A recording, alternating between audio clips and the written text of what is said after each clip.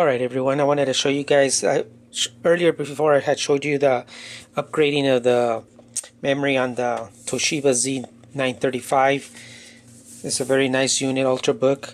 So what I did, uh, I went ahead and um, I've already removed the screws, but I'm going to show you guys really quickly.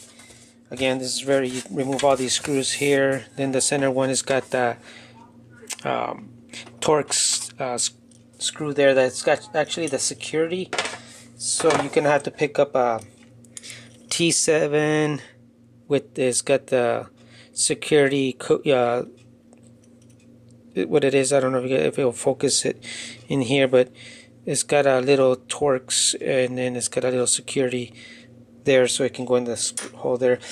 Originally I had installed the 4 gigabyte RAM stick in here so it is worked very perfectly so it upgraded it to the total six gigabyte.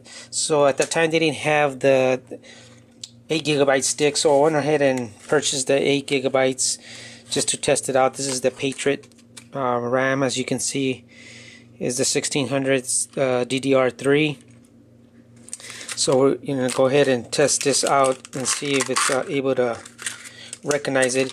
On the other ultrabooks uh, using the same processor or yeah actually yeah same Ivy Bridge core uh, it's able to recognize uh, more than six gigabytes. It might be something that Toshiba just, uh, again, it's uh, Toshiba might just only be maxing them out at six gigabytes for some reason. But again, there's your uh, empty slot, very easy to upgrade. You can just uh, push these out, and your old memory RAM will come out. This only goes one way here, as you can see, it's got a little notch there. So that notch goes in here. So just face it in there like at an angle like this and then I'll push it down. As you can see it's all the way in so you can double check and everything. So let's take this one out and um and put the cover back in here. And when you guys put the cover uh, put this side in first what I've done is uh I kind of like push this side down like this kind of and lift it up kind of high like this from one side and that'll allow this to just drop right in. See it was very easy. Let's go ahead and boot this up. I'm not gonna oops I won't put the screws in there until we know that it boots up quickly or actually if it works. Let me go ahead and um,